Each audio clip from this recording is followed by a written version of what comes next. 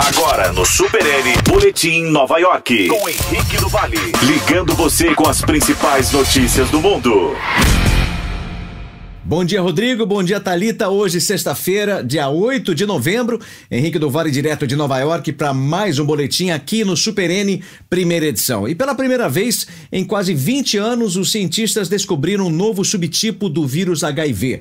O vírus que causa a AIDS tem diferentes tipos e tem a capacidade de mudar e sofrer mutações ao longo do tempo. Este é o primeiro identificado desde que as diretrizes para a classificação de subtipos foram estabelecidas no ano ano 2000. Cerca de 37 milhões de pessoas em todo o mundo estão vivendo com HIV.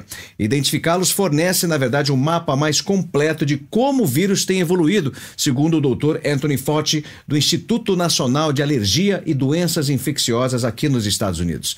E o presidente Donald Trump pediu ao procurador-geral William Barr que realizasse uma entrevista coletiva em setembro e declarasse publicamente que não violou nenhuma lei durante uma ligação com o líder ucraniano que agora está no centro de uma investigação do impeachment do presidente, acabou informando o jornal Washington Post. William Barr diz que não, mas mesmo sem uma entrevista coletiva, o Departamento de Justiça anunciou que os promotores não haviam encontrado nenhuma irregularidade pelo presidente, pelo menos no que se refere à lei de financiamento de campanhas.